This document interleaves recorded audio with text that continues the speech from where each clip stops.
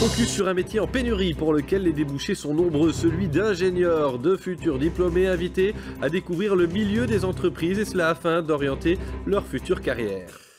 Économie et emploi. Les entreprises recrutent des ingénieurs civils ou industriels. On sait que la formation est très porteuse d'emploi, mais quelle branche choisir une fois son diplôme en poche? La Fédération Agoria organise des visites pour les étudiants. Elisabeth Groutars avec Antoine van der Straten. Ces étudiants de première master en ingénieur industriel découvrent une entreprise spécialisée dans l'énergie à Uccle.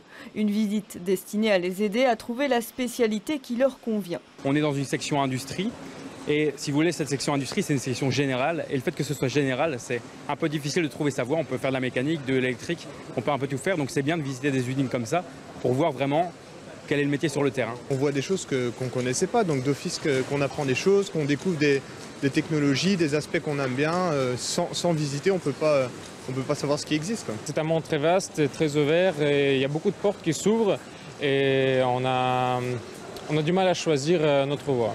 D'autant plus que les offres ne manquent pas.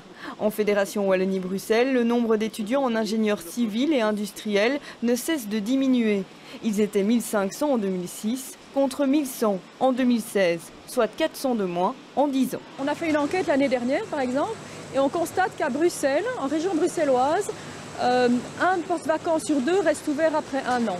Alors que dans les deux autres régions, c'est environ 1 sur 3. Et pourquoi plus à Bruxelles? Euh, eh bien parce que d'abord, souvent les profils demandés à Bruxelles sont plus élevés parce que c'est plus une ville de, service. Euh, deuxièmement, parce que souvent on demande le bilinguisme.